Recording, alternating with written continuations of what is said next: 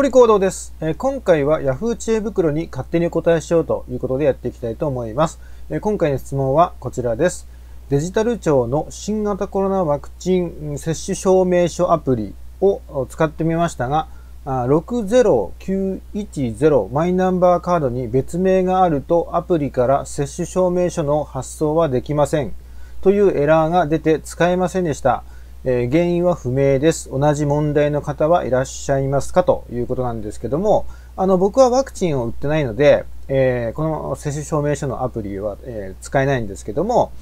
えっと、今回のこの質問の方で、え60910マイナンバーカードに別名があると何とかってね、このエラーを見る限りなんですけど、今ですね、あの、マイナンバーカードで、えーと急性え兵器っていうね、えーのマイナンバーカードでは、えー使えないと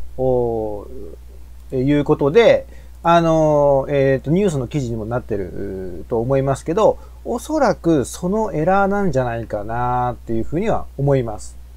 はい。で、まあ、あの、今回の、えこの新型コロナワクチン接種証明書アプリにですね、あの、12月20日に、あの、リリースされまして、で、えっ、と、多くの方がですね、あの、こう登録作業、作業というかね、あの、登録をしてるっていうような感じだと思いますけど、結構、あの、エラーがたくさん出てて、結構問題にになってて、で、あの、えっ、と、次回のこうアップデートとかで、あの、解決されるんじゃないかとかって、なんかそういうようなことを言われてますけどね。あの、早速、